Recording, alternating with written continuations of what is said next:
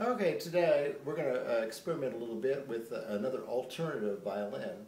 And uh, the violin's rather standard, but I have what are called octave strings. I got these, these are Thomastik, and they're, I think it's a super sensitive brand as well.